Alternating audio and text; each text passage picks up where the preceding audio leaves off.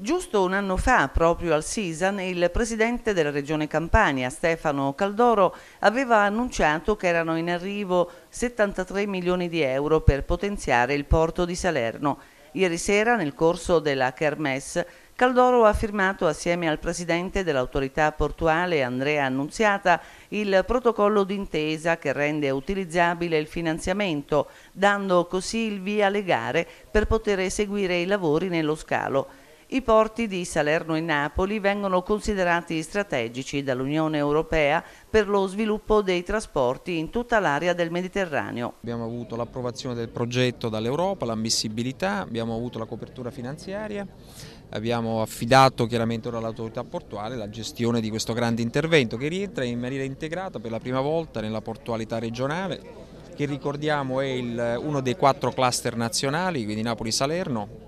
eh, sono una straordinaria potenzialità, sono i primi datori di lavoro della nostra regione, hanno potenzialità di crescita eh, in termini di mercato, di persone, di merci, di passeggeri. Il governatore Caldoro si è poi soffermato sulla vicenda del CSTP. Il tema non è regionale come sapete, la competenza non è nostra. Dal punto di vista finanziario? Dal punto di vista politico, eh, non finanziario no perché dipendiamo dal governo, eh, sono i trasferimenti nazionali, la regione non ha trasferimenti propri sui trasporti, prende dal governo e dà agli enti, i cittadini vengono penalizzati, per noi trasporto e sanità, non si, TPL intendiamo, trasporto pubblico locale e sanità dei cittadini non possono essere toccati, le regioni hanno fatto una battaglia, allo Stato però permangono i tagli fortissimi, violenti del governo nazionale sul TPL, 40% di tagli, il governo si è impegnato, il ministro Passera qualche giorno fa ha detto che richiamava le regioni e gli enti per eh, rifare l'accordo, finché non si rifà l'accordo i tagli sono purtroppo ancora presenti. È gravissima la situazione della sanità in Campania.